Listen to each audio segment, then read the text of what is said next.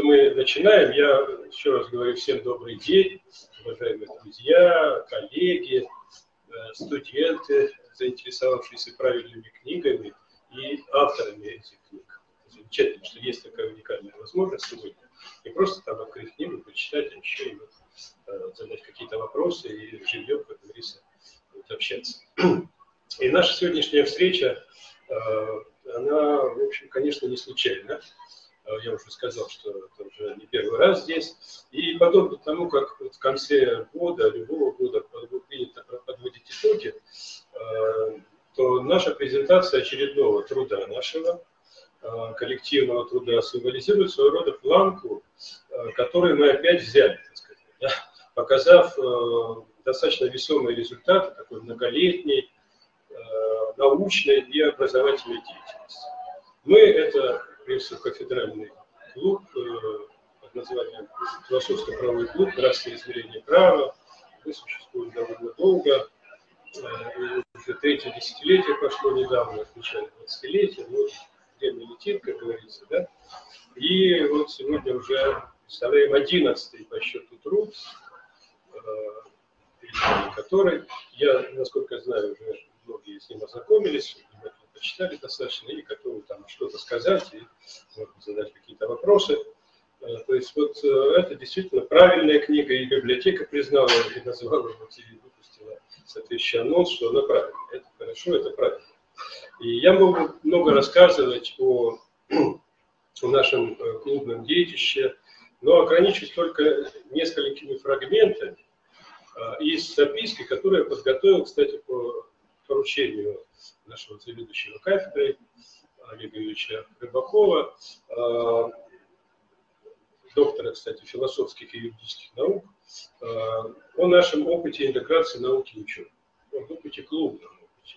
Ну, думаю, что это правильно, потому что все-таки это вот а, наши труды коллективные, они как раз на этой площадке все-таки созревают, как-то, да, вот конференция вначале проводится, разные, и межрегиональные, и всероссийские, и международные. Но в данном случае была всероссийская конференция, вот на основании э, результатов, итогов, ну, значит, собрали этот сборник, долго работали, это, как правило, проходит какое-то время, но зато, так сказать, что-то вот появляется такое весомое.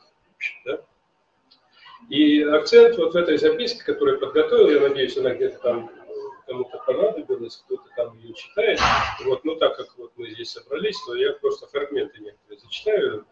Ничего здесь такого особого нового нет, но тем не менее, чтобы сэкономить время и вот как-то компактно об этом сказать, я вот все-таки еще важно именно так сделать. И акцент делается в этой записке, повторяю, в основном на методологических и организационно-педагогических таких инновациях, скажем так, которые позволяют нам уверенно себя чувствовать э, на университетском образовательном поле, но и не только на университетском.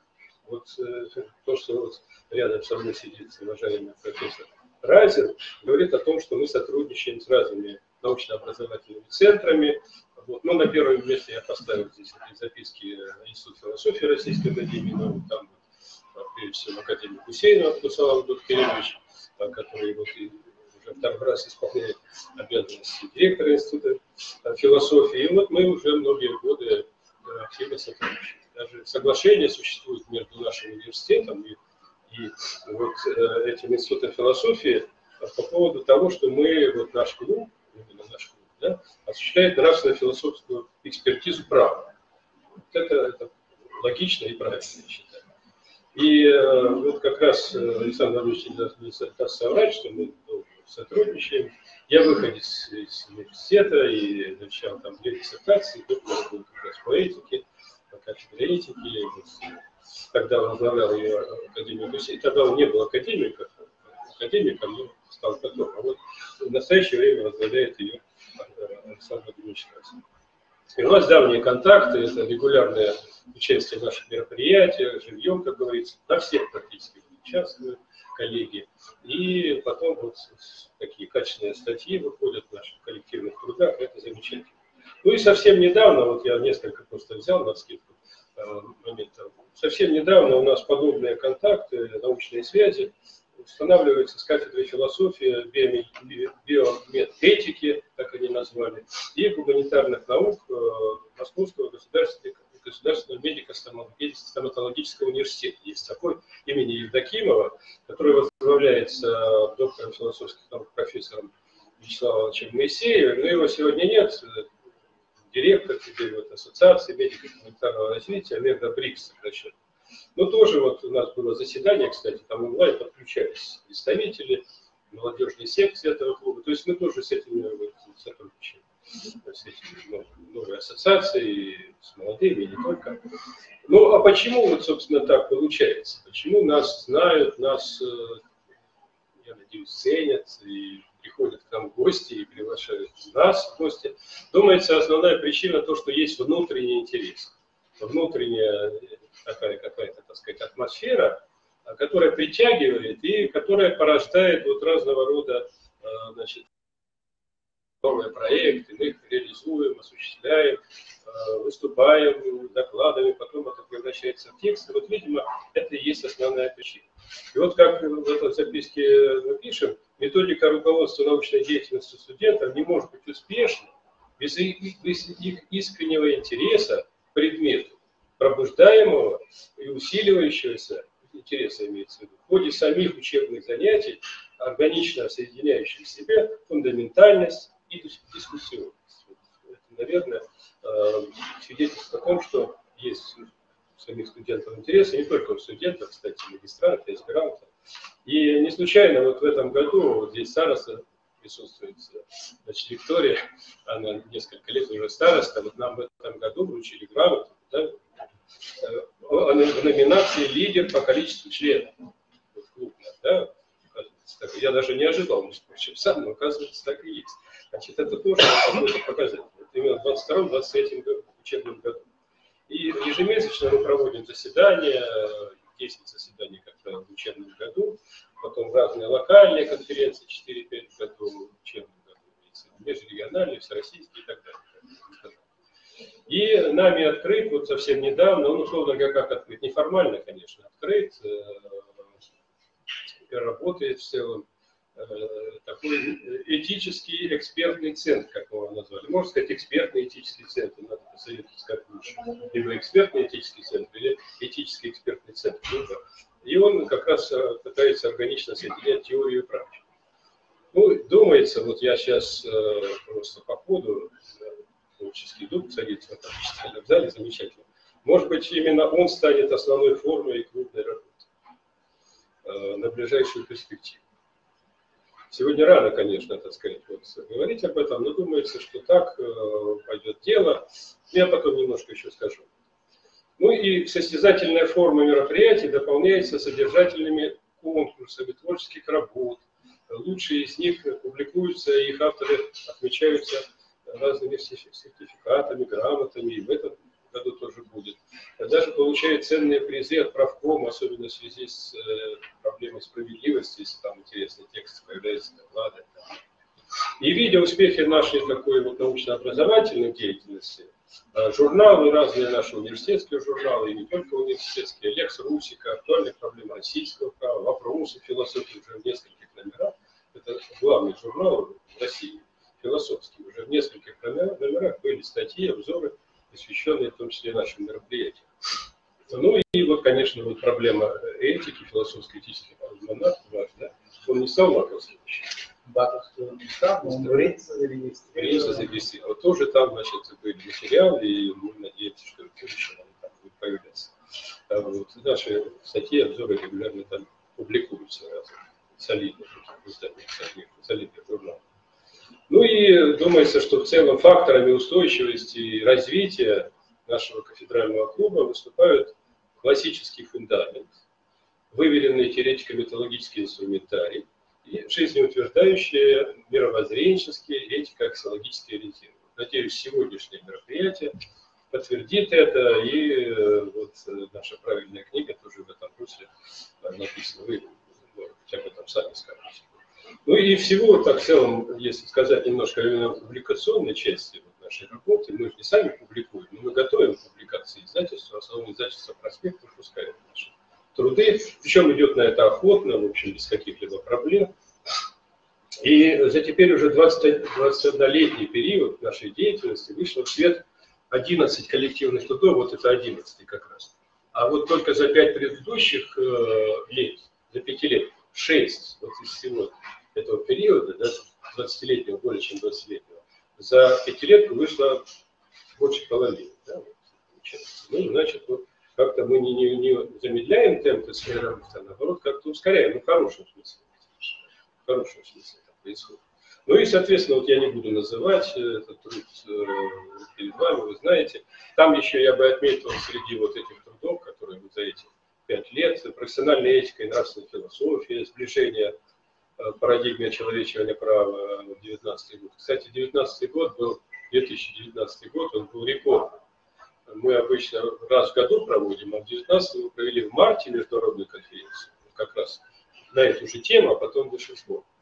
И в ноябре провели еще вот эту нашу всероссийскую конференцию «Профессиональная этика и нравственная философия». Вот вышло два труда практически подряд. Но дальше я не буду перечислять, некоторые из них были э, представлены в этом замечательном читальном зале, и буду повторяться. И, соответственно, э, значит, вот, э, почему я выделил особенно, ну, с этого начал, потому что аналогически это завершающий на сегодняшний день, вот, шестой из из тех значит, трудов за пять лет, которые подготовлены. Но первый из них, который в 2019 году, вот, та конференция, которую я назвал, называется так все-таки. Научно-технологические трансформации в современном обществе, нравственно-философское философское осмысление и особенности правового регулирования. Вот такое назвал.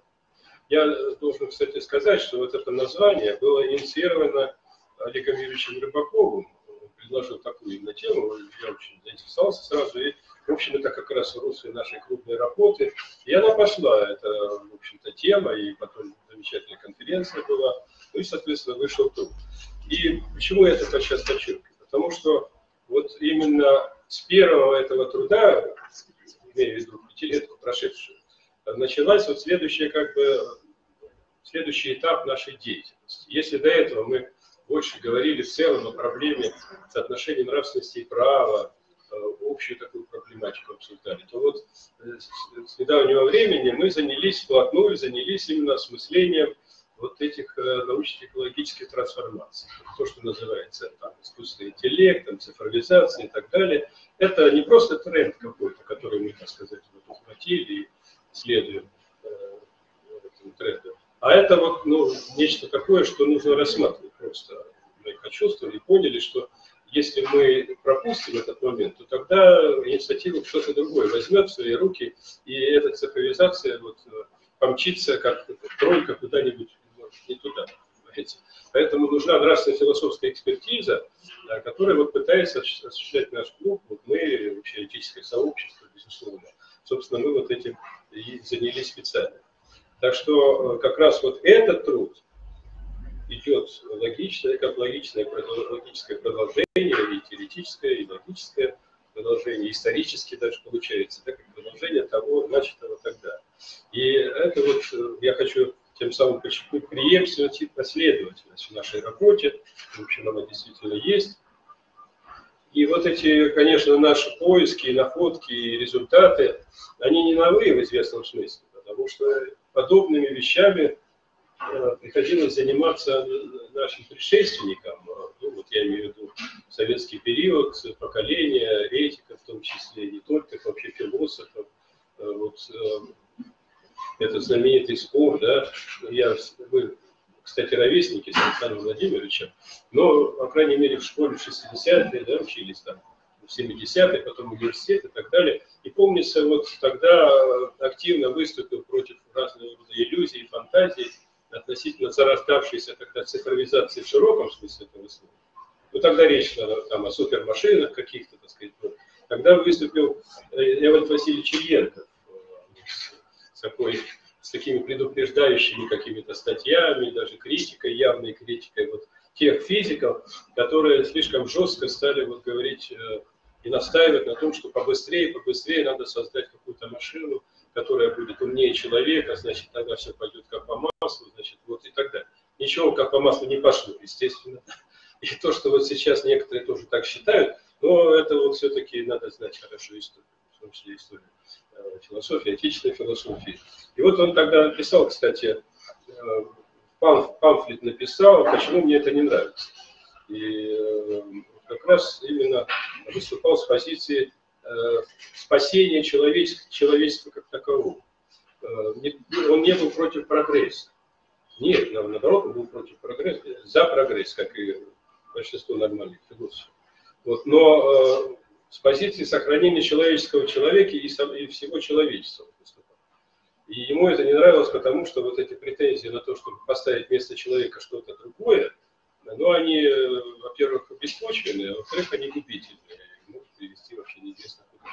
И вот кроме этих глубоких размышлений и острых полемических высказываний относительно неопределенных фантазий, даже сам, самих ученых, в плане якобы целесообразности создания вот этой супермашины, речь идет, вот это я хочу подчеркнуть, об односторонности узкопрофессионального развития, доходящей до профессионального кретинизма. Увы, такое бывает, вот представители каких-то профессий выпячивают, скажем, свою там роль, берут на себя то, что они в принципе не могут потянуть, но им кажется, что это надо сделать. Вот это, к сожалению, сегодня тоже просматривается. Ну и, соответственно, э, речь идет о том, что э, принципиальная значимость имеет э, шкала нравственных ценностей. Она стоит на первом месте, должна стоять на первом месте, а не какая-то безличная, вот я цитирую, безличная абстракция под тем или иным красивым названием. А человек именно в образе живого и реального человека должен быть в центре. У нас это тоже, в общем, э, в центре присутствует, и я поэтому об этом говорю. И по существу для отстаивания именно такой э, или подобной жизнеутверждающей позиции нужна хорошая философия, как ее называю я, ну, нет, хорошая философия. Но я называю это все-таки нравственной философией. Я считаю, что она подобна красной нити, э, значит, пронизывает все этапы развития философии, все разделы философии, даже материализм и идеализм где-то сходятся, он сшивает, нравственная философия сшивает материализм и идеализм, именно на нравственном поле можно и нужно искать очень Неважно, там, какое мировоззрение, но если человеческое это, ну, скажем, условия для нормального работы, совместного сотрудничества, совершения общего дела и так далее, и так далее. И, соответственно, вот в данном случае, когда, перефразируя высказывание одного философа 20 века, вещи оседлали человека и гонят его вскачь, сегодня можно сказать, что цифра обуздала или обуздывает человека, тоже неизвестно куда, а, то требуются такие специальные нравственно-философские экспертные усилия в плане вот изучения этой проблемы, проблематики, ну и достаточно глубокие теоретические методологические исследования разрабатывать, теоретико-методологические соображения необходимо. И вот, кстати, решению этих подобных задач как раз и посвящена наша книга. Собственно, я о книге говорю сейчас на самом деле. Это не просто какие-то разговоры о клубе вообще, а вот именно в книге это в центре нашего внимания. Даже это относится к приложению. Там, вы заметили, достаточно большое приложение. Но не случайно. Это тоже как юбилейное издание за много лет. Там, э, особенно вот это выдержка, вернее, статьи многие статьи из вот того сборника, о котором я сказал, 2019 года, научно-технологической трансформации. И там вот я могу даже перечислить, там статьи Артемова, Ершова, Разина, Рыбакова, Корнева, э, значит, Кашкина, э, Талерова, который должен там присоединиться, присоединился, да, Павел Иванович Талер, Талеров Санкт-Петербурга. И главное же думается в том, что очередной раз подтвердилась проверенная годами практика соединения теоретических усилий философов, прежде всего специализирующихся по этике, с одной стороны, и юристов-специалистов с другой стороны. Неизменен и просветительско-образовательный дух наших совместных усилий, но я надеюсь, он и сейчас стоит в этом зале. И вообще, думается, такой основной секрет, так сказать, клубного долголетия кроется именно в этом устойчивом интересе самой молодежи к философии и этике. Ну, я не буду там дальше, вот мог бы еще сослаться на э, советскую классику, не буду это делать, этого делать. Это, кстати, советская классика часто сходится и с духом русской философии. Э, проблема в том, что общество при этом теряет время и энергию на подобные отвлечения, когда приходится, значит, какие-то эрзацы, модные эрзацы разбирать э, и анализировать. А ведь давно стал очевиден парадокс, заключающийся в том, что бесспорные технико-технологические достижения, которые вскружили головы многих сторонников такого безостановочного и неуклонного экономического прогресса, сопровождаются серьезными социальными и духовными потерями, даже регрессом. И вот этот регресс, в частности, породил не только множество иллюзий относительно возможности и дальнейшего развертывания э, и применения значит, вот разных новшеств, но и семинутных каких-то прикладных решений, в том числе и так называемых новых этик технологического типа. Вот как раз эти новые этики технологического типа, они тоже нуждаются, так сказать, в осмыслении, э, каком-то таком тоже экспертном анализе, и в этом тоже задача нашего труда, которую в какой-то степени Андрей все-таки выполняет. И сравнивая вот эти все конференции 19 и 22 годов, я назвал, уже не буду повторяться, а, и соответствующие сборники, то вот я хотел бы следующее сказать, что если в том сборнике 19 года в целом, в основном в первом приближении и в общем была поставлена проблема этического осмысления – научно-технологической трансформации, то теперь э, существенным образом усиливается линия на практическое развертывание и теоретико-методологическое обеспечение этого осмысления. В этом новизна. И основывается идея о том, что своего рода стержнем вот этого осмысления выступает профессиональная этика фундаментального уровня. При этом к укреплению, укреплению этого фундамента, думается, могут и должны иметь отношение в том числе и сами специалисты и юристы в том числе, иметь какой-то той или иной профессии вообще. Классический пример, я люблю этот пример приводить, э, я надеюсь, э, будете разрешите, еще раз его приведу. Вот знаменитый юрист Анатолий Федорович Да? Замечательный юрист, никогда никаких ошибок не сделал в юридическом плане и в человеческом плане, в личностном плане тоже. Он стоит у истоков судебной этики э, именно потому, что сумел подняться на эту вершину подняться самостоятельно. И при помощи философов, э, в данном случае речь идет в том числе о Льве Николаевиче Толстом, недавно были в гостях у Толстого, но я имею в виду в музее Льва Николаевича, естественно, для того, под впечатлением еще находимся, в общем, сегодня даже, я думаю, студенты что-то скажут так. И в целом, размышляя об актуальности вот этого труда нашего, нельзя не сказать, что сегодня становится все более очевидной потребность целенаправленной деятельности по защите и культивированию нравственности не только в общем, так сказать, соци... на общем социокультурном уровне, сколько на профессиональном уровне э, жизнедеятельности общества. Ясно, что это актуализирует востребованность собственной профессиональной этики, как своего рода такого, такой защиты, не просто, что называется, от дурака, как принято говорить, да, в кавычках берем, а от разнообразных проявлений зла в словах, делах, представ... Представителей тех или иных профессий особенно тех, которые связаны с человеческими судьбами, в самом широком смысле этого слова. К их числу относятся, конечно, и, например, учителя, там, медики, юристы, журналисты, руководители разного уровня. Ну, теперь так называемые айтишники, причастные к созданию, там, внедрению, обслуживанию программ, алгоритмов, напрямую касающихся э, как отдельных людей, коллективов, так и всего общества. Начинать, конечно, нужно с самих себя ибо на практике важны именно образцы. Не случайно этику называют практической философией. Но здесь, конечно, нельзя сохранять некий такой удобный нейтралитет, тем более поддерживать силы зла в его разнообразных проявлениях, особенно если вот эти вот проявления прямо вредят общему делу. И актуализируя такой подход, обращаю ваше внимание на свою собственную статью. В первом разделе она идет, э, она называется «Нравственная философия как основа профессиональной этики и фактор защиты прав человека в условиях новых технологических угроз. Речь там идет об особой такой созидательной роли именно нравственной философии, применительно культуре, обществу в целом.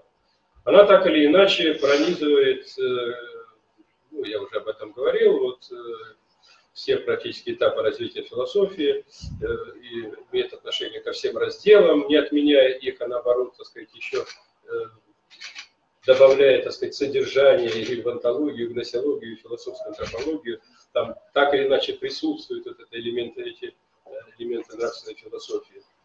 Ну и в этом ключе мы будем дальше работать, я не буду говорить о, о, о планах наших. Но, кстати, эта статья, между прочим, она, и в сноске об этом сказано, она привязана к новому, новому университетскому проекту такой, вот Аркадий Владимирович Корнев, э, который тоже хотел присутствовать здесь, э, он руководитель нового, нового направления, социоправа называется, стратегии 2030. Вот я эту статью я привязал тоже к этой стратегии, там у нас было разделение туда, и это тоже говорит о том, что мы в этом направлении работаем. А, и, конечно, вот преподающий такой серьезный предмет, как профессиональная этика, не может не понимать, что его фундаментальный уровень как раз и обеспечивается должным уровнем знания в области общей этики. Общей этики. А, это значит и история этических учений, вся история этических учений, это содержание категорий ценностей, их взаимосвязи. Если этого нет, если нет там Сократа, если нет там Аристотеля, если нет там Канта, если нет там Льва Николаевича Толстого или Эриха Фрома и так далее, то тогда, ну, какой смысл разговаривать о профессионализме? То есть можно, конечно, разговаривать, но смысла в этом большого я не вижу. И в этом плане вот я хотел бы, конечно, обратить на это внимание. Тут просто у нас так складывается, что профессиональную этику э, не всегда преподают философы этики. А вот, и я не случайно подчеркнул, что важно подняться на должный теоретический уровень готовности для того, чтобы эту дисциплину преподавать. Ну и, по крайней мере, студенты, вот, в какой-то степени испытывающие дефицит этических знаний, они в какой-то степени, надеюсь, восполняют его на наших заседаниях. Все-таки наш курс философско-правовой, этическая направленность, называется нравственное измерение права. Поэтому вот э, и сегодняшнее наше такое заседание в необычной форме, и другие наши мероприятия, они направлены на восполнение этого дефицита. И важно идти по линии сотрудничества, в том числе на преподавательском уровне, чтобы все-таки эта дисциплина была на должном уровне. Я надеюсь, так оно и происходит, но все равно вот мы готовы, и вот наш этот экспертный этический центр, он в том числе будет заточен на то, чтобы где-то вот какие-то даже методологические вещи, там, может быть, даже методические вещи, если они нужны, вот, прояснить их, так сказать, как-то уточнить что-то в плане преподавания профессиональной этики в связи с введением специальности, это, в общем-то, мы готовы к этому. Наши двери открыты, условно говоря. А, что касается методологического инструментария, меня там на 32-33 страницах, я сейчас не буду повторять, это есть, можно почитать, может кто-то обратил внимание, не останавливаясь на деталях структуры и содержания книги, так как для этого сейчас нет времени, а, да и вот э, уважаемым студентам, насколько я знаю, есть что сказать в этом плане. Я хочу обратить внимание на 38-ю страницу еще вот этого, а, значит, нашего труда, я выписал для себя, и там мне вот бросили такие слова, они дороги лично мне. Принципиально верным можно считать подход Артемова, который отмечает, что в усложняющемся обществе, в мире в целом особенно востребована глубокая, прицельная и последовательная нравственно-философская экспертиза права. Подобной экспертизе, как духовно-нравственной интеллектуально-теоретической деятельности по анализу насущных и возможных проблем и ситуаций, связанных с содержанием и формой действующего и будущего права, в принципе не может быть не заинтересовано и само юридическое сообщество. Она взята из замечательной статьи Олега Ильича Рыбакова «Этика гуманизма. Необходимость нравственности человека». А, я понял, что она исходит из приоритета личностного бытия, взятого в тесной связке с обществом, я имею в виду статья, да, вот автор исходит из этого. Ну, я там планировал предоставить слово Олегу Юрьевичу, э, но если он не присоединился еще, да, тогда мы пойдем немножко иначе. Э, Вячеслав Михайлович, у нас есть вопрос от участников онлайн-встречи нашей сегодняшней. От Елены Владимировны есть вопрос. Правильно ли я понимаю, что речь идет о создании экспертного сообщества в области профессиональной этики? Если да, то по какому принципу данного обще... данное общество будет формироваться? А кто спрашивает? Это Елена Владимировна Кобрякова. Да? Ну, я сказал, что это неформальный такой, мы не, не любим формалистику всякую. Фактически э, мы и так, э, вот как клуб, собственно, осуществляем какую-то экспертную деятельность, даже в самой природе этики это заложено, вообще-то говоря, осуществлять какую-то экспертизу, анализ того, что происходит. И у нас есть достаточно богатая база для этого. Собственно, то, что я сейчас сказал, вот, завершаю свое выступление, относительно вот методологии. Я даже страницы назвал, собственно, вот мы эти методологические принципы будем применять. А, силы кафедры, силы вот наших коллег, э, если они не будут возражать, Конечно, силы значительные, да, университет, кафедра этики, философского факультета, институт философии, там, значит, тоже есть э, соответствующий сектор и так далее. То есть вот в этом, в этом плане, э, что касается содержательной части, здесь проблем нет. А что касается вот формализации, там мы не собираемся регистрироваться где-то да, в Министерстве юстиции, вот если так я правильно понял вопрос. Елена Владимировна, если вам нужны еще какие-то комментарии, напишите нам в чате. А я думаю, что Вячеслав Михайлович продолжит пока встречу согласно плану, который он будет да, Хорошо. Хорошо. Ну, тогда вот э, мы немножко изменяем здесь вот э, полагавшийся сценарий. И я думаю, что будет разумно и правильно предоставить слово Александру Владимировичу Разину, да, Любезно согласен сегодня присутствовать и пришел лично. Спасибо, Вячеслав Михайлович. Ну, я что могу сказать? Прежде всего, я рад, что такая встреча вот сегодня состоялась. Я хочу выразить благодарность Вячеславу Михайловичу за те многочисленные конференции, которые он проводил, ну, не только ему руководство университета, профессору Макову, значит, всем участникам этих конференций. У нас много действительно было совместных конференций, потом вот университет поэтому любезно согласился публиковать труды как итоги рассмотрения проблем на этих конференциях. У вас в университете замечательные журналы юридические, которые тоже наши статьи публиковали. Так что мы очень довольны вот э, таким вот сотрудничеством, конечно. Вот. Мы тоже проводим конференции, приглашаем. Вот э, у них есть совместный учет. У нас тоже есть журналы, есть наш федеральный журнал, вот, как раз есть проблемы этих, он пока еще не стал вакуумским, но есть еще журнал, очень известный сейчас, входящий в первый план Линз, философия общества он называется, я являюсь главным редактором этого журнала, и там, собственно говоря, четыре человека с кафедры входят в коллегию, так что тоже пользуюсь этим. Вот, известный журнал, пользующийся таким уважением среди научного сообщества. Вот это Златовский, да? Да, он Лаковский, он входит в ядро лиц, только Лаковский. В высшей степени Лаковский. Александр Владимирович, можно немножко погромче? Да, вот журнал «Философия общества», который входит в ядро РИНЦ. Я не вижу, где у вас микрофон. У нас хорошая, наверное. Где-то есть, да, ладно. Вот, так что мы такое научное сотрудничество осуществляем. Ну и вот этот последний труд, я, наверное, должен немножко сказать здесь о всех интересующих теме искусственного интеллекта. А, тоже, соответственно, у нас сейчас организована магистратура на кафедре по прикладной этике. И название я точно не воспроизведу, но, в принципе, она называется «Цифровые коммуникации и искусственный интеллект». То есть искусственный интеллект там тоже присутствует, и студенты очень большой интерес к этой проблематике проявляет. И ректор нашего университета, академик Садовнич, он поддерживает очень эту проблематику и рассматривает ее как одну из ведущих в университете, поэтому вот была такая магистратура организована. А, вот. И, э, значит, э, у нас есть конференции, тоже сейчас я потом подробно немножко скажу о том, чем студенты интересуются. Например, конференция ежегодная э, «Философия 21 века». Это, в общем-то, студенческая конференция, но она очень большое внимание пользуется. В этот раз 70 докладов было на конференции, мы разошлись там в 10 часов вечера, буквально. Настолько был интерес большой в том числе и по искусственному интеллекту.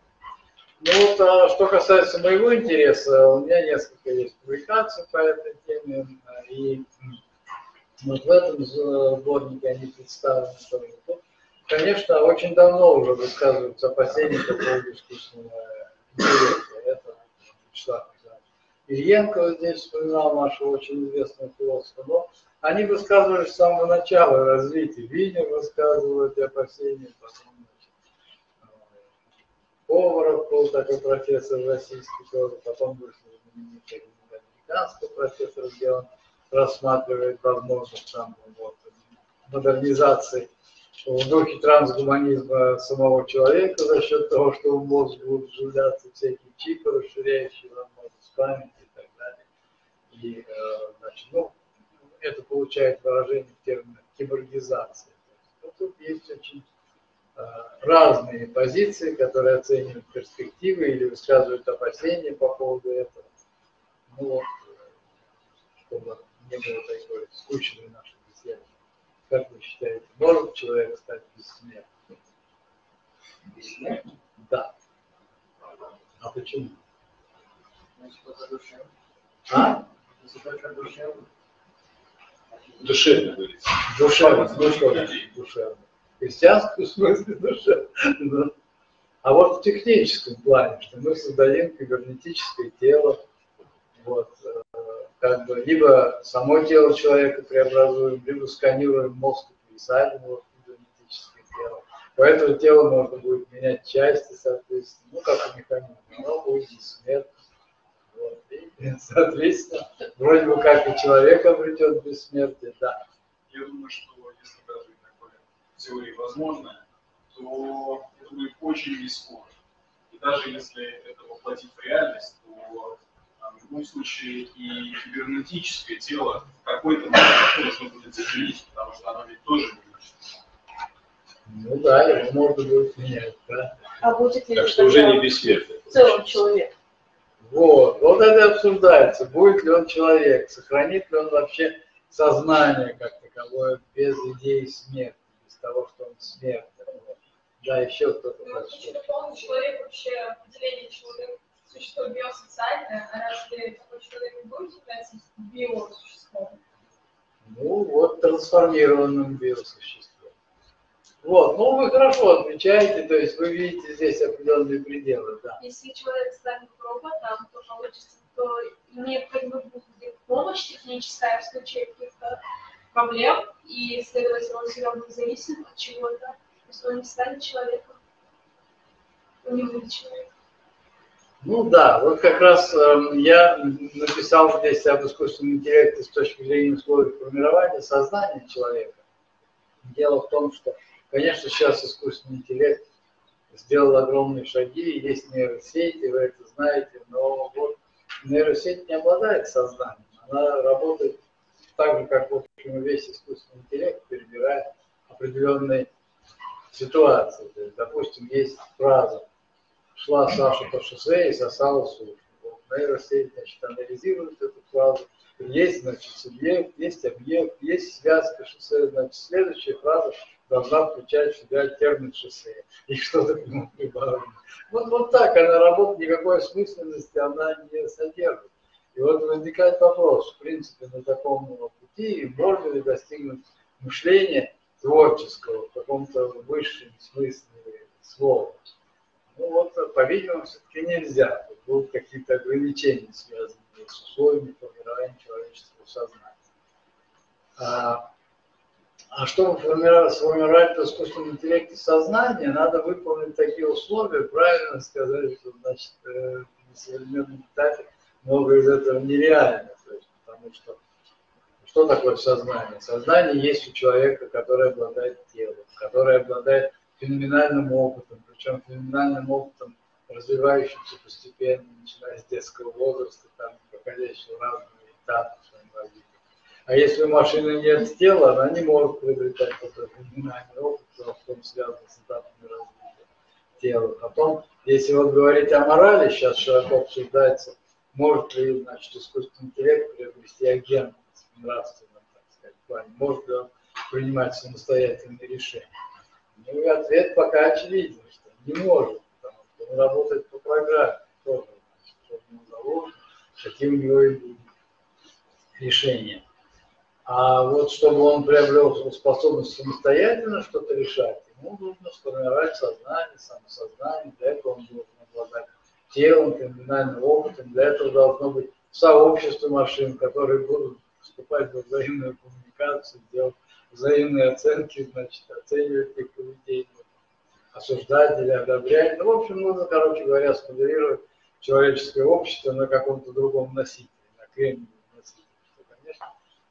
невероятно сложная проблема, и возникает вопрос, а нужно ли это вообще делать. Кроме того, есть там ряд философов, которые говорят, что вообще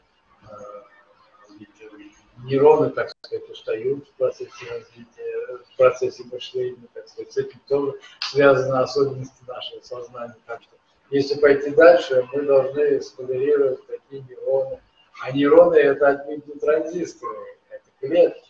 Клетки, которые производят собственные белки, которые могут быть специализированы, которые действительно устают. То есть, вот, все выглядит очень непросто. И сейчас есть прогнозы, там китайцы считают, что интеллект, альфа, так называемый интеллект, который превзойдет способности человека, будет создан через 40 лет, американцы считают, что через 70 лет.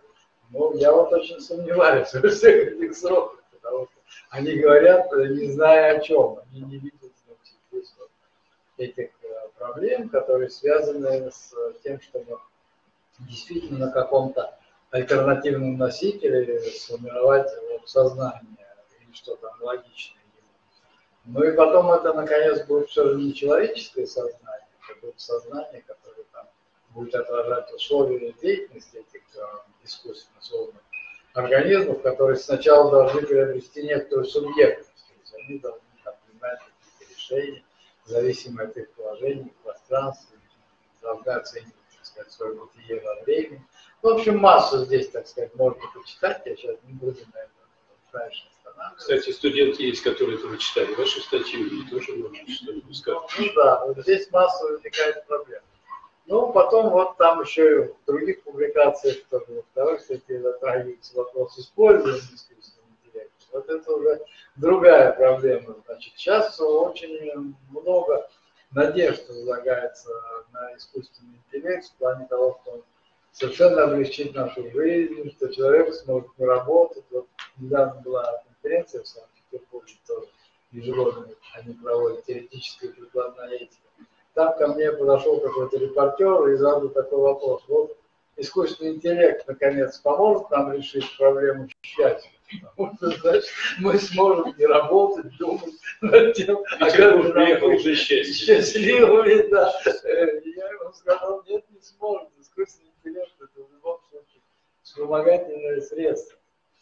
И вот а, на этой конференции студенческой тоже, это, наверное, и вы об этом думаете, один из студентов сказал, ну, а почему мы так много работаем? Вот искусственный интеллект, значит, мы что-то неправильно делаем. Вообще должно быть вот, автоматизированное полностью освобожден человек от работы. И, значит, тогда он сможет заниматься философией, вот, ну, вот та же самая идея, значит, общие метафизические проблемы. Ну, наивная это, конечно, точка зрения. Да, сейчас я а, вам дам слово, я только завершу свою мысль. Наивная почему? Потому что, в общем-то, есть фундаментальная основа существования человека и существования общества. Общество э, постоянно вступает в противоречие с природой. Это противоречие динамическое, его надо разрешать, значит. Для этого требуется усилие. И, значит, в общем-то, нет обстоятельств считать, что вот в таком каком-то глобальном смысле э, труд человека будет облегчаться. То есть он будет менять свои формы, да, это может быть будет не труд материального производства, а труд, так сказать, интеллектуальный, духовным производством. Но это совершенно не означает, что это будет вот, каждый занимается чем ему хочет. Хочет философией, хочет искусством, работать. Труд это радость. Не обязательно, да. человека. таких условий не будет. Хотя сейчас общество столкнулось с этой проблемой, что одни люди, их, кстати, немного, хотят очень интенсивно трудиться, их всего сколько, вы думаете, на Земле процентов на отношения? Осталось, да. Да. Ну, почему осталось? Может, я надеюсь, что все людей. Но пока их 5%. Значит, остальные не очень хотят интенсивно трудиться. Как. Но это социология, она может быть. Может, и ошибается, да. Скорее всего, ошибается. Вот, конечно. Мы Ну, без работы просидели несколько дней на больничном, уже тянет. да. Ну, ну да, ну, это нас. Михайлович тянет, а других я не знаю, может не тянет. И действительно, сейчас э, есть процесс, что освобождается большое количество людей в связи с автоматизацией производства. Обсуждается вопрос, а чем бы их занять. Вот у нас была, ну не у нас, но философский факультет этом участвовал три года назад, конференция в Германии. А, как она называлась, сейчас даже вспомню. С Германией сейчас контактов особо Ну, нет. ну, сейчас особо нет, хотя там приезжают некоторые в Германию. Сейчас я а, Что? Как же немецкая философия? А, ну, в немецкой философии мы всегда контактируем. В общем, она называлась э, как-то так, лень как добродетель, особенно в труда в современном обществе. Просто, значит, э, вот, ничего не делать, а еще и как добродетель. То есть нужно быть ленивым, а у меня один аспирант написал диссертацию по теме, э, лень как этическая проблема. По-моему, приходилось ее читать. Да, так что есть интерес к этой проблематике, но это все может быть явление временное, что там большое количество людей оказывается, без занятий, удаленно без материального производства, потому что все время была такая динамика, что одни виды э, труда заменяются другими видами труда, но что, так сказать, вообще общество сможет так вот расслабленно постоянно существовать, мне кажется, это совершенно нереально идеал в силу того, что есть определенные объективные условия, почему человек должен активно причем трудиться, потому что противоречие-то нарастает, значит, требуются новые а, усилия для того, чтобы его а, разрешать. Потом учеба тоже труд, кстати. И учеба, и сколько После сейчас времени учебного дня тратим все на равно то, нужно чтобы собрались просто вступить в жизни, как уже специалисты квалифицированные. Ну, по крайней мере, треть жизни тратим на это. То есть сложнее становится процесс социализации. Усложняется вот для людей, которые выбрали себе такой путь интеллектуального развития. Ну, э, вот, э, значит, и, конечно, не может быть такого идеала, вот как общество, в котором каждый, кто занят в духовной сфере производства, как, кстати, это часть утопической составляющей, хотя я очень высоко ценю Маркса, иногда такие идеи проскальзывают, что люди будут работать в духовном производстве свободно совершенно. И рано или поздно их открытие, они окажутся полезными для материального производства. Да ничего подобного. Духовное производство постоянно зависит от уровня развития материального производства. Потому Задачи, которые возникают в материальном производстве, транслируются в область духовной деятельности, их нужно разрешать, то есть там тоже должна быть какая-то какой-то контроль за мерой труда и потребления. А, Потому что есть более актуальные задачи, есть менее актуальные задачи. То есть это все как-то должно регулироваться, стимулироваться за счет различных стимулов труда и прочего. Но это уже несколько другой вопрос. Вот, искусственный интеллект, э, да, нельзя, не надо, так сказать, на него возлагать особые надежды, что он человека труда освободит, и что, значит, он вообще заменит человека. Я согласен с этим. Кстати, Александр Владимирович, извините, может быть, я вас перебиваю. У нас еще студенты хотели бы вот высказаться. Да, вот там Ваши э, статьи, девушка другие. А вот просто насчет того, что кто-то говорит, ну, пока нет возможности. Да будет ли она вообще эта возможность? Ее никогда не будет такого. Ну, что лет машина заменит человека.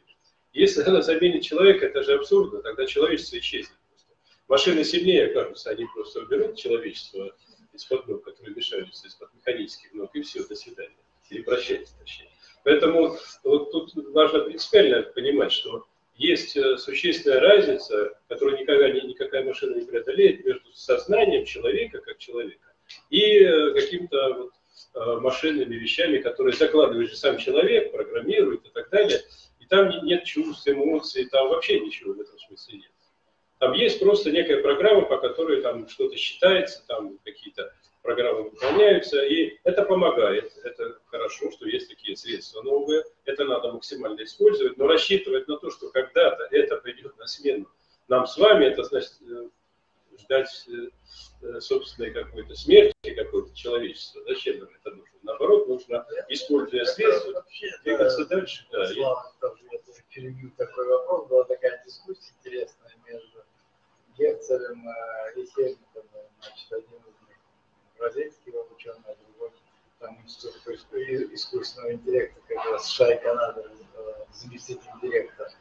Так вот, э, там, э, значит, один из этих ученых, он высказал идею, что вообще вот тот идеал, к которому мы привыкли, что азимутский идеал, что будут роботы, которые будут бегать это если такое будет, он говорит, то будет очень недолго. В принципе, такие роботы, в общем-то, и не нужны. Искусственный интеллект будет существовать в сетях в большей степени, Сам человек будет, конечно, хирургизироваться в какой-то мере, потому что он не сможет, если он не будет этого делать, выдержать конкуренции с искусственным интеллектом. Но вот, э, а- от традиционных таких э, стереотипов, э, ну, конечно, отказываться. Что, э, ну и зачем такие роботы, которые вот, не знаю.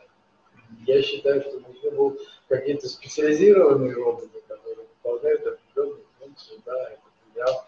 Легче себе представить, так скажем, чем робота какого-то универсального. Зачем его создавать, когда сам человек в значительной степени универсальный? Ну, короче говоря, это очень широко обсуждается и вообще не приведет ли использование широкого искусственного интеллекта в образовании, к трансформации нашей психики, так сказать, как будут дети себя чувствовать, если они не будут ощущать тепла, как себя больные будут чувствовать, если обычных нянек с ними будет общаться. Даже если очень хорошо разукрашенный робот подойдет, все равно это же будет машина. Ну, ну да, что он там даст лекарства, но не будет э, с пациентом обмениваться какими-то добрыми словами. То есть это все вот специалистами обсуждается. Ну да, правильно, давайте студенты еще что-то. Да, но мы не будем заигрывать, по крайней мере, вот с техникой, как иногда делают некоторые специалисты, которые считают себя профессионалами. Мне как-то э, так случайно посмотрел я, ну, краем глаза одну программу, передачу такую, и там вот э, субботняя какая-то там, медицинская, что ли, и там такая, такой сюжет, значит, э, известный доктор, не буду называть его фамилию, вот он с роботом как бы играет, да, он там разукрасил его да, прямо на глазах зрителей, да, он как-то, и с ним беседует, задает якобы ему вопросы там и так далее, все как бы чинно, благородно, тот как бы отвечает, он над ним посмеивается, да, что он вам помогает, вот, но, но все равно и намек на то, что да, он это нас не заменит, э, вот, и так далее, но при этом сам этот доктор на глазах у публики разбивает, значит, вот бюст человеческий. Зачем вот это сделать? Понимаете? То есть получается, что э, вот, робота он не трогает, а бюст разбивает человеческий. Это, по-моему, вообще-то говоря, даже с точки зрения элементарной этической экспертизы, в общем-то, не должно входить в эфир. Но как это вышло каким-то образом. То есть я к чему говорю? Я немножко заостряю проблему. Проблему значимости профессиональной деятельности. Если уж вы выполняете какую-то какие-то функции в профессии, делаете это по-настоящему, а не, так сказать, как-то вы идите на поводу там моды какой-то, значит, привлечь каких-то зрителей и так далее. Но э, медик, который разбивает в прямом эфире плюс человеческий, неважно там чей, да, он нарушает э, в том числе и клятву Гиппократа, не навреди, вообще говоря, что кому он может помочь, так сказать, из тех, кто нуждается в какой-то медицинской помощи. Я просто сейчас на скидку вспомнил, привел пример с тем, чтобы как-то вот э, быть на, на уровне, так сказать, оценок более высоких по сравнению с бытовыми какими-то, что в принципе вот это заигрывание э, с искусственным интеллектом, с, э, даже с цифровизацией, вот это вещь обо- обоюдоострая.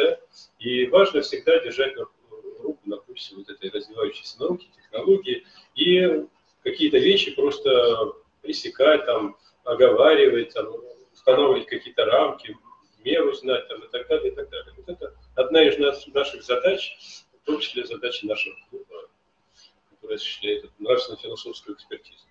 Ну а теперь вот студенты. Что? Павел Иванович Таберов тоже за. Да, вот Павел Иванович Тайлеров, вот э, интересно его послушать кратенько, да? Или мы сначала студентов? Как вам удобно, но Ну, давайте мы сначала студентам, которые вот читали статью э, Александра Владимировича, и, может быть, вы выскажете что-то, может быть, и вопросы какие-то еще дополнительные появятся. И вот что еще студенты сами хотят сказать. Я вот хотел спросить, у нас Герман Глебович Макаров здесь?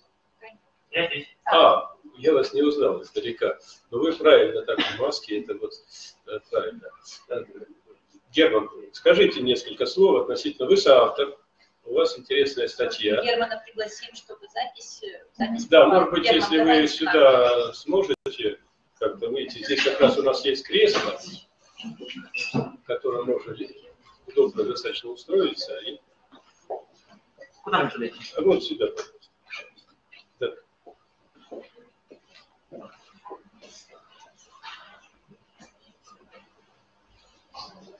Вы не будете? Ну, Хорошо, хорошо. Спасибо. Герман, ну вот ск- скажите, что вы хотели бы сказать. Э, У вас статья интересная, э, там ваши суждения э, такие интересные относительно состояния нравственности в нашем современном обществе. Вы не изменили свои позиции? Продолжаете отстаивать эти позиции или что-нибудь вы хотели бы еще сказать? Ну, в принципе, в своей статье я выразил свое мнение о том, что в современном информационном обществе происходит, о тех процессах деструктивных, которые могут произойти, если информационное общество будет развиваться неконтролируемо. И я, в принципе, остаюсь при своем мнении. Я считаю, что вот наша деятельность, деятельность нашего клуба, э, наше взаимодействие с другими университетами, оно играет очень важную роль именно в информационном контроле всего того, что происходит. Можно, можно подумать, как вот я слышал некоторое мнение, что вот э, наша деятельность, она э, иногда ограничивается написанием текста, этот текст его потом прочитает несколько человек, и этим все заканчивается. На самом деле нет. Любое слово, оно является очень ценным информационным элементом, особенно в наше время. И любое нравственное слово оказывает серьезнейшее противостояние любому слову безнравственному. Может быть, 50 лет назад это было не так заметно. Э, Конечно, такие процессы были противостояния информационного, но это было не настолько сильно заметно. Сейчас же, когда э, у нас есть э, интернет, когда у нас есть столько каналов информации различных, на мой взгляд, то, чем мы сейчас здесь занимаемся, в том числе в данный момент, это ключевой фактор. Я выражусь, конечно, сильно, но это ключевой фактор информационного спасения человечества. То есть сама нравственность, э, если она позиционируется, да, Конечно. и слово произносится то, которое должно быть произнесено, это как раз э, залог стабильности и дальнейшего развития. Абсолютно. Замечательно. Вы, кстати, вот участвовали конференции по линии сотрудничества с этой новой ассоциацией да, медико-гуманитарного развития. Да. Э, Вам понравилось там, да, атмосфера? Да, это было достаточно Они услышали то, конференция. что им очень понравилось, мне передали, я вам передал, лично это делаю.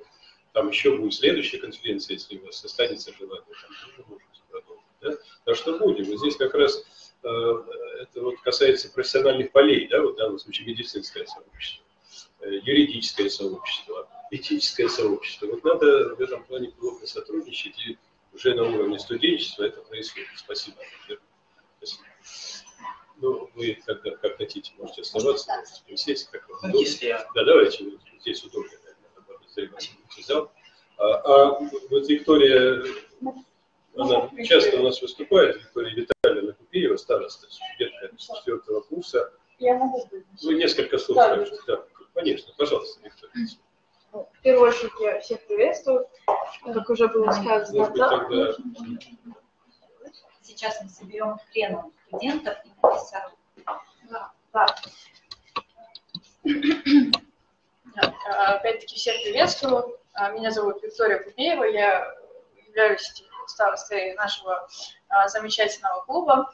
И мне бы хотелось сказать пару слов по поводу, в принципе, деятельности клуба, которая идет э, такими большими, так скажем, да, шагами, в хорошем смысле этого слова, и мы проделываем а, большую работу. но мы не торопимся. Безусловно.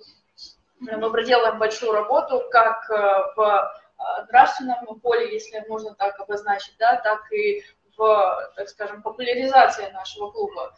А, Потому что вот Вячеслав Михайлович говорил, что в прошлом году а, мы от э, СНО, так скажем, получили грамоту, нас э, признали клубом с наибольшим количеством участников. То есть у нас э, каждый год прибавляется около 70 человек в среднем. И, безусловно, некоторые приходят, да, некоторые уходят в связи с тем, что и оканчивают наш университет и по другим различным Но причинам. духовно с нами остаются. Безусловно, у нас вот и выпускники э, присутствуют на наших э, заседаниях очень часто и на различных конференциях. Это говорит о том, что клуб все-таки не просто такой условный, да, он, наоборот, он, так скажем, живой, он действует, он функционирует как один а, живой такой организм. И мы проводим заседания не только в рамках нашего университета, у нас и выездные заседания. Вот буквально недавно, месяц назад, мы были в музее Льва Николаевича Толстого. Мы послушали там лекцию. Думаю, те, кто там был, они помнят и до сих пор остаются под э, приятным впечатлением. Мы прослушали экскурсию, тоже достаточно интересную. Более того, клуб взаимодействует и сотрудничает с другими университетами нашей страны, не только нашей страны. Поэтому всем тем, кто вместе с нами, большое спасибо. Мы продолжим также плодотворно работать, продуктивно работать, э, расширяться и идти вперед за новыми достижениями, новыми в хорошем смысле этого слова свершениями. Спасибо. Виктория, надеемся, что это продолжится действительно с вашей помощью в том числе. Держится много, конечно, на активистах в студенческой среде, замечательно. Спасибо. Ну и тогда мы э, еще вот в связи с тем, что про музей вспомнили, э, может быть, вот мы вас вам предоставим слово, вы скажете свои впечатления. А статья э, Александра Владимировича, если кто-то хотел бы еще что-то дополнительно сказать, тоже можете сказать после для разнообразия, так сказать. Да, у вас уже даже так, да? Это, э, значит, э, в результате посещения музея под впечатлением, да, и в духе вот нашего труда в какой-то степени, там есть вот одна из статей, ну, сейчас выступающий скажет. Мы бы хотели высказаться по поводу статьи, которая э, авторства э, Корнева Аркадия Владимировича, которая называется «Русская классическая литература в поиске гармонии между нравственностью и правом». Аркадий Владимирович э, в своей статье поднимает достаточно нетривиальную тему соотношения права и нравственности в ряде произведений русской классической литературы. Этот вид искусства является вечным, поэтому проблему можно назвать актуальной, поскольку несовпадение нравственных и правовых оценок прослеживается и в нынешнее время. Сегодня также можно проследить а, такие попытки, как отмена русской культуры, но это вряд ли получится, поскольку мировую литературу без российских авторов представить невозможно. Особое внимание хочется обратить на раскрытие статьи Аркадия Владимировича а, роли Льва Николаевича Толстого ввиду опять же, недавней экскурсии совместно с СНК «Нравственное измерение права». И наиболее проблемы соотношения нравственности и права э, раскрывается в последнем романе Толстого «Воскресенье». Тут важно упомянуть про фигуру Кони, которую также сегодня звучала эта фамилия, ведь именно он в определенной степени повлиял на автора. Э, Лев Николаевич и Кони часто беседовали на религиозные темы, нравственные. Кони обращался э, со своими судебными воспоминаниями к Льву Николаевичу. И один из таких рассказов лег в основу произведения «Воскресенье». А, углубляясь в сюжет, мы можем понять, что Толстой обличает безнравственность каждого участника судебного процесса. И он намекает, что вершители судеб зачастую а, сами являют, не обладают достаточным уровнем морали и духовности. К слову, сам Толстой учился на юридическом факультете в Казани, но, как тогда говорили, не окончил курса автор ставит нас перед философским выбором, пойти по дороге материализма и индивидуализма или прийти к осознанию ответственности и за себя, и за других людей, за мир в целом, и это уже приведет к внутренней гармонии э, в жизни и умиротворению. Ознакомившись со статьей, можно прийти к вполне уверенному выводу. Можно быть законопослушным, но при этом аморальным человеком. А в этой связи важно быть высокоразвитым именно с духовной стороны. А, нельзя недооценивать роль нравственности, а также те уроки, которые способны преподать литература. Резюмируя, Корнев задает а, ряд вопросов, непростых вопросов читателю, такие как «А кто герой нашего времени?», «Нужны ли ему прочные нравственные основы?» И, просуждав над этим, мы с моей коллегой Викторией Лашиной пришли к некоторым выводам касательно поиска истинного героя нашего времени. Это вы уже сами поискали и нашли? Да. Это замечательно. Это в зале как раз. Наиболее яркой фигурой среди современных отечественных прозаиков является Захар Прилепин. Именно в его прозе осмысливается актуальная современная проблематика, анализируются судьбы России, ее прошлого и настоящего, место человека в жестокой современной реальности, которая не всегда принимает героя, оторванного от корней, одинокого и пытающегося утвердиться в нередко чужом для него мире. Стоит отметить, что с момента выхода в свет произведений Прилепина его герои были восприняты в обществе как новые герои, герои нашего времени – наследники образцов социалистов прозы Максима Горького. Они – личности сильные, нередко жестокие в принятии решений и поступках, но при этом наделенные способностью к тотальной рефлексии, не ожесточившиеся даже после перенесенных жизненных тягот и трагического военного опыта. Весьма показательный в этом отношении роман Захара Прилепина «Патологии» и «Санкер». Ну, мы не будем сейчас подробно разбираться, да, просто в целом интересный такой ответ на тот вопрос, который ставит автор статьи. Вот произошло оживление сейчас в этом зале, потому что то, что написано там, вы прочитали и вот поразмыслив, в частности, назвали этого героя нашего времени, одного из героев, множество героев, но это любопытно. Ну что еще вы хотите? Ну вот мы бы хотели упомянуть, что в статье говорилось, что сейчас происходит попытка отмены русской культуры, а Захар Прилепин он является как раз-таки защитником этого, он является защитником русского имени, и его цитата, что в наши дни происходит геноцид русского самосознания. Также Захар Прилепин считает, что Россия имеет все возможности, чтобы стать в центре глобального мирового переустройства, даровать себе и мир континента права равного существования в культуре, политике и так далее. Таким образом, можно сказать, что Захар Прилепин – герой нашего времени, он показывает людям пример настоящего человека с большой буквы не только в своих произведениях, но и в своей собственной жизни. Спасибо большое, спасибо. О героях надо думать, конечно. Вот, и наша жизнь такая сегодня, что востребованы, и вот завтра тоже мы услышим много интересного. Спасибо. Ну, а сейчас... Э, Там тоже вопрос. Да, пожалуйста. У меня поступающий вопрос, если разрешите я. У вас э, о чем? По поводу ИДК. Просто была упомянута фамилия Толстого и Приветина. И мне показалось, что они стоят, а, девочки, может быть, неосознанно сравнили, вот они Приветина называют героем нашего времени, с чем сложно согласиться. А считают ли они Толстого героем своего времени? И если да, то почему? А, ну вот видите, кратенько, пожалуйста, интересный вопрос. Да. Ну, я думаю, что Льва Николаевича Толстого тоже можно назвать героем времени а, своего, но и не только своей эпохи, а в целом ну, и на данный момент он тоже является героем, но сходство между ними есть, и Лев Николаевич тоже побывал на военных действиях, он сохранил в себе человечность, любовь к родине. Он был мужественным да. воином, офицером, награжден э, и так далее. Спасибо. Ну, в какой-то степени это ответ, да? Да. Хорошо. Хорошо. Э, так, со стороны студенчества, кто хотел бы вот, э, что-то еще сказать по поводу статей, которые вы прочитали, вот, и общее впечатление, и конкретно, может быть, если есть такое. Вот у нас еще, пока вы собираетесь с мыслями, э, есть в онлайне там Павел Иванович Сталинов. Павел Иванович, вы нас слышите? Ага, вот, я вижу. Слышно нас, да? Сейчас он включает. Да, вот я вижу, включается. Там тоже вот интересные статьи, не одна, кстати, в приложении его статья есть, он частый наш гость тоже из Санкт-Петербурга, между прочим. Вот, э, может быть, если есть желание что-то сказать, Павел Иванович, мы вам предоставляем слово. Павел Иванович, камеру и микрофон, пожалуйста, еще раз попробуйте включить.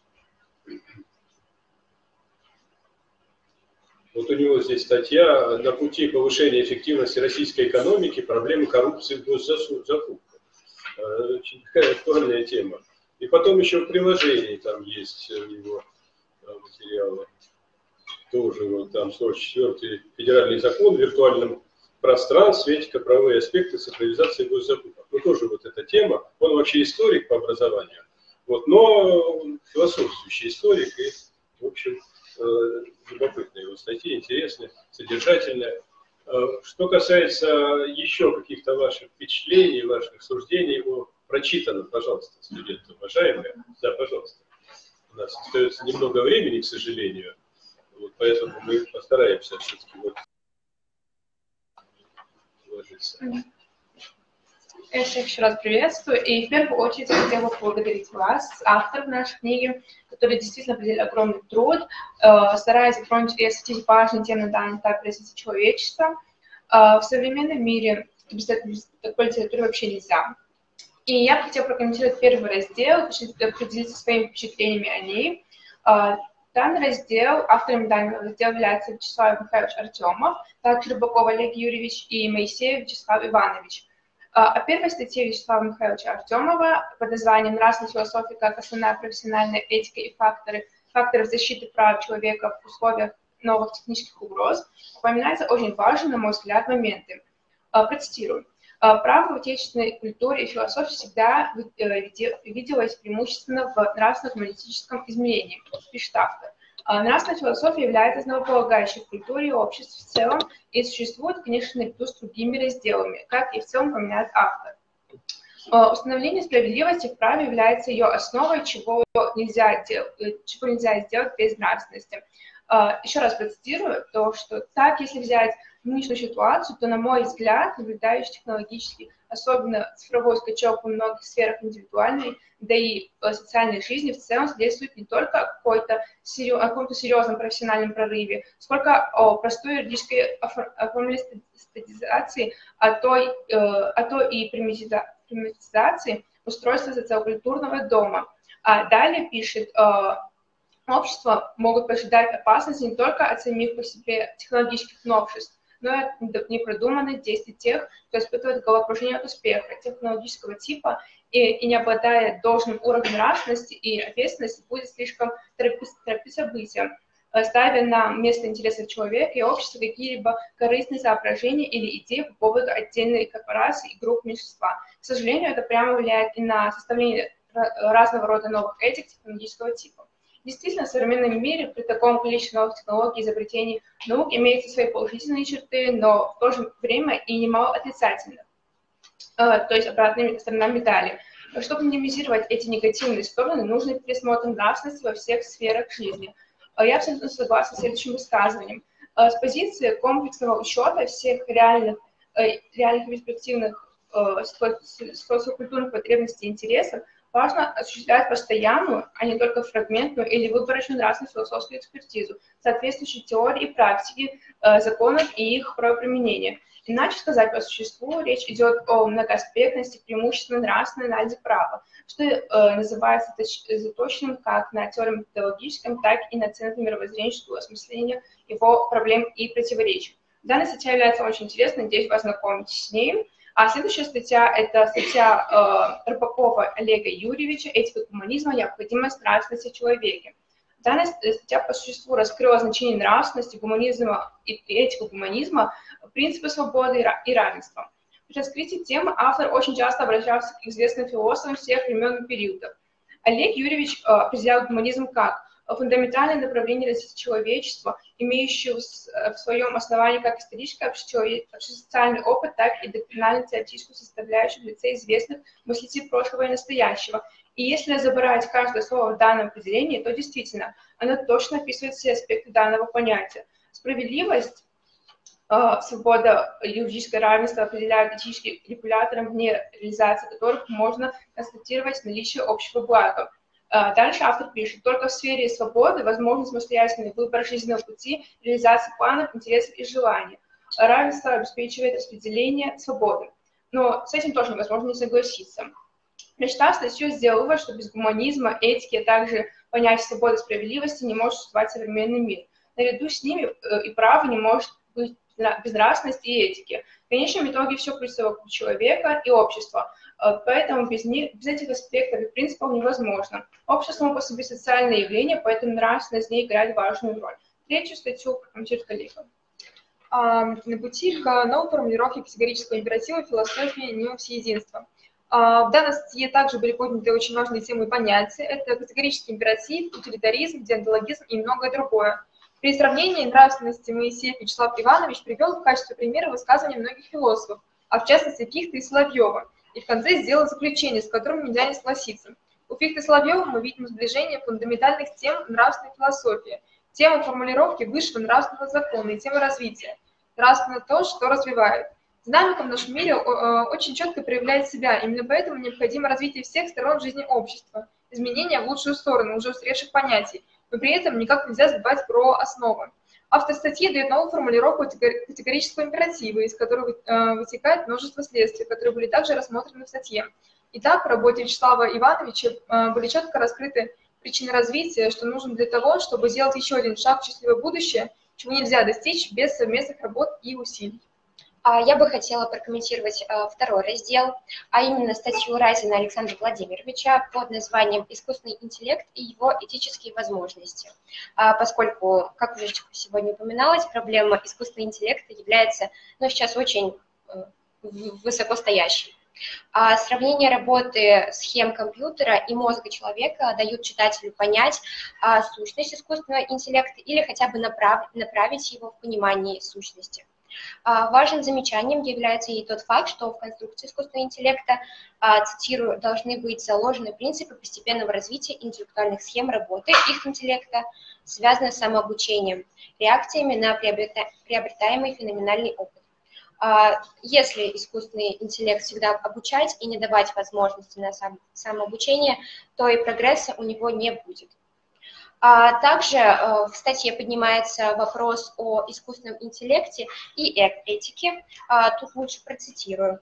А пока этические возможности искусственного интеллекта – это те возможности, которые определяются его программой, и ответственность за решения, которые принимает компьютер, несет программист. Также на данный момент искусственный интеллект не обладает свободой воли, а свободные решения для него в лучшем случае означают выбор и спектр возможностей. Спасибо. Спасибо. Ну вы сами озвучите вопросы, которые у нас да. Ну, у нас Павел Иванович попытался да, Павел Иванович не получилось, да? Мы попробуем сейчас его еще раз включить. Павел Иванович, давайте попробуем.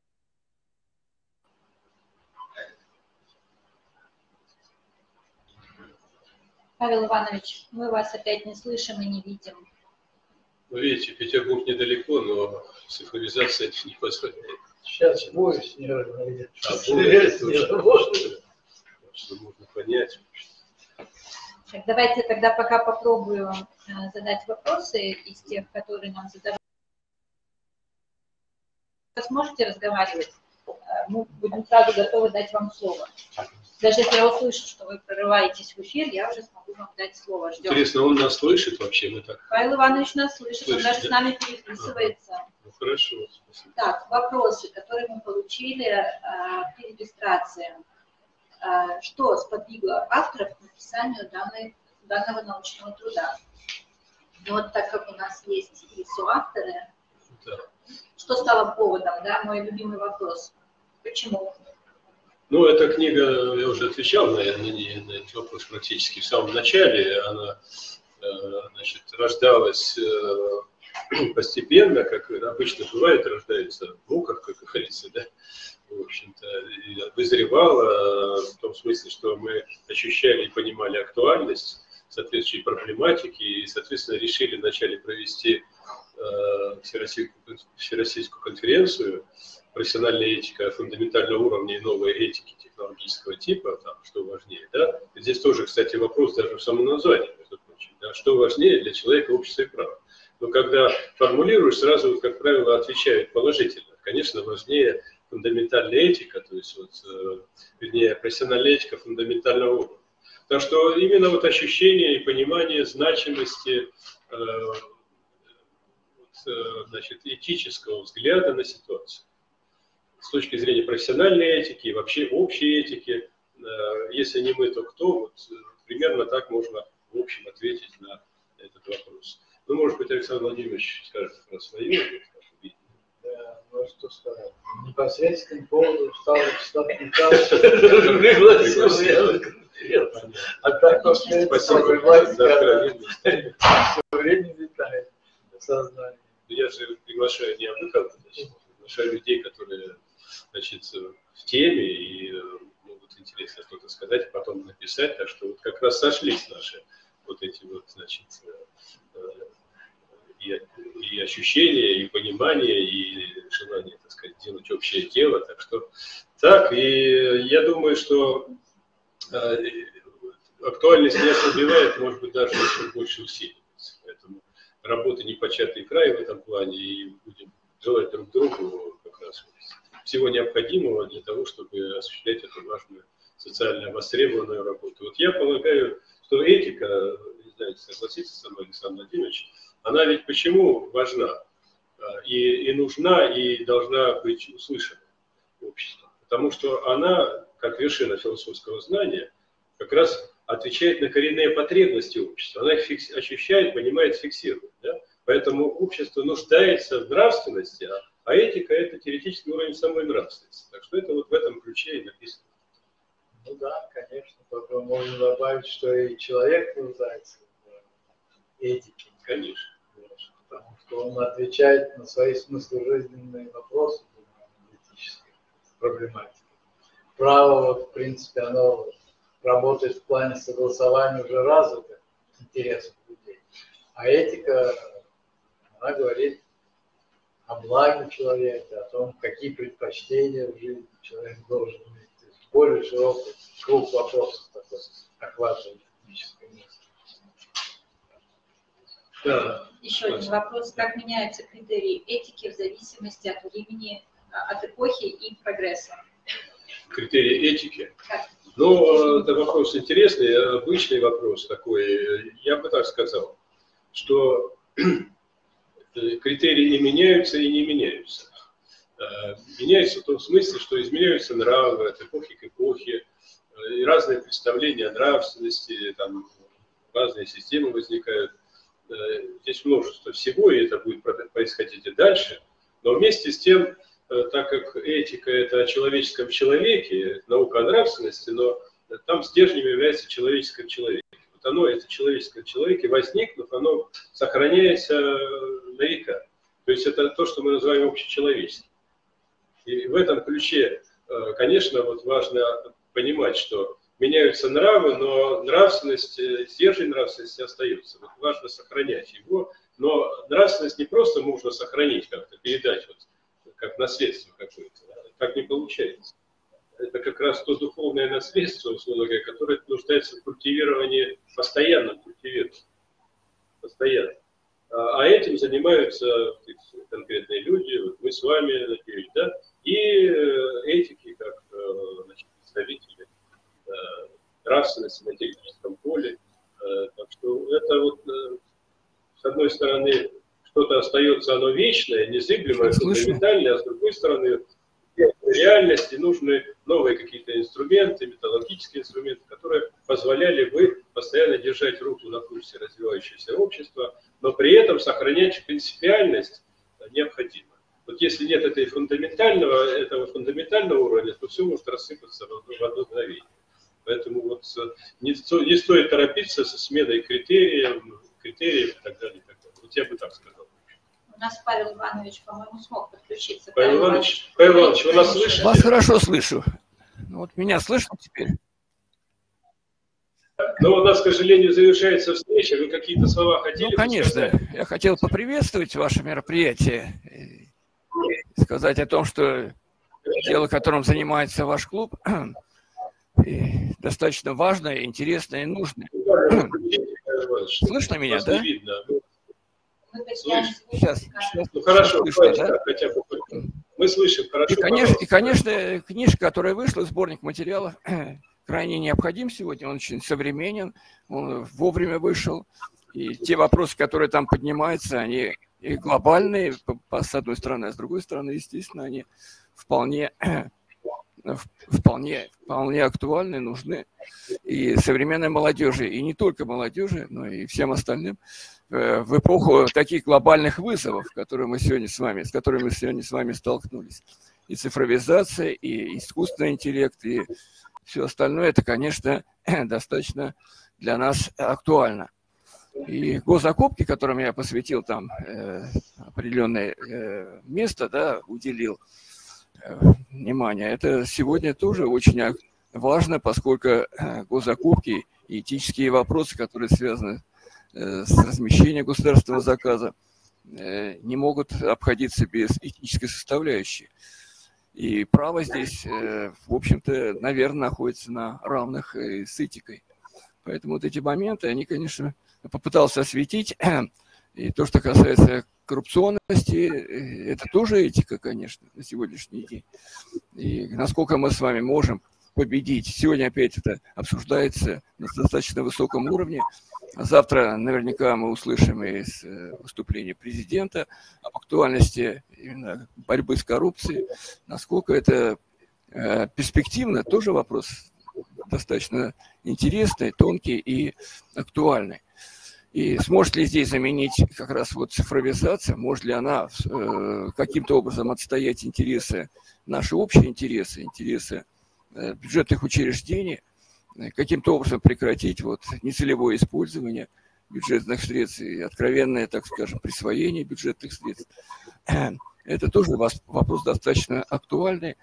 И э, сегодня мы видим все-таки некое э, отставание, проигрывание в этом отношении. Поэтому, конечно, э, обсуждение вот на уровне клуба и этих актуальных вопросов крайне необходимо.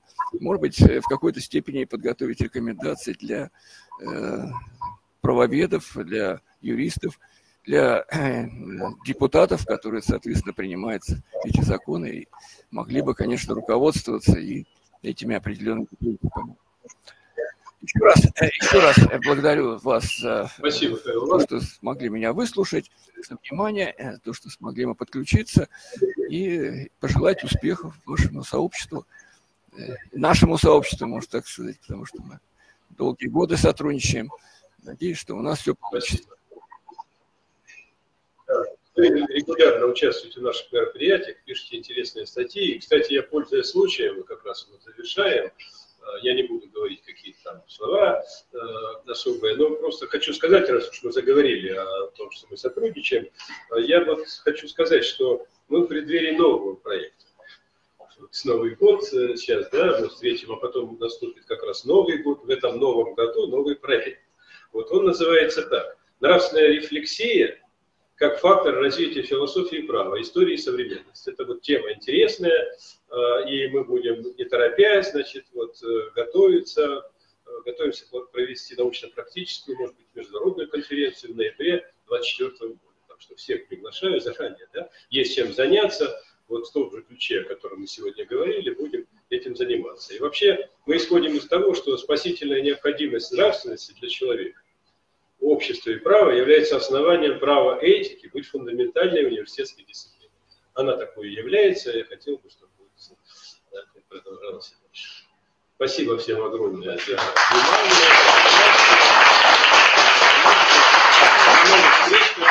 Спасибо замечательной библиотеке Наталье Михайловне Головиной, другим коллегам Наталье Аркадьевна за подготовку и замечательное проведение. Уважаемые наши гости, э, хочу сказать тоже от лица библиотеки огромное спасибо Александру Владимировичу Райскому. Очень приятно видеть вас в стенах нашей библиотеки. Приходите к нам еще. И Вячеславу Михайловичу Артемову, который уже стал добрым другом нашей библиотеки. Я напомню, что мы уже разговаривали в стенах нашей библиотеки о, о таких публикациях, как «Нравственные гуманистические идеи Петра Алексеевича Кропоткина. Перспективы совершенствования права в условиях новых вызовов», Нравственное гуманистическое правовое наследие Льва Николаевича Толстого и Владимира Сергеевича Соловьева в контексте современности. Книги у нас на выставке, их можно прочитать в читальном зале и взять э, в абонементе нашей библиотеки. Кстати, книги у нас с авторской дарственной надписью. Мы всех авторов приглашаем оставлять книги. Студентам бывает очень приятно взять в руки книгу, которая содержит автограф, есть автографы, пожелания следующим поколениям студентов и развиваться. Вот здесь тоже есть. Да, спасибо вам огромное. От лица библиотеки уже я выражаю огромную благодарность студентам за то, что они читают, думают, размышляют о таких сложных вопросах и готовы работать и обсуждать такие сложные вопросы, о которых мы сегодня говорили. Еще раз э, приглашаю вас на наши проекты в рамках э, библиотечного уже проекта правильные книги, приносите правильные книги нам, мы будем рассказывать о правильных книгах вам, книгах вам. И с наступающим Новым годом, новых, добрых, полезных книг всем, не только э, цифровых, но и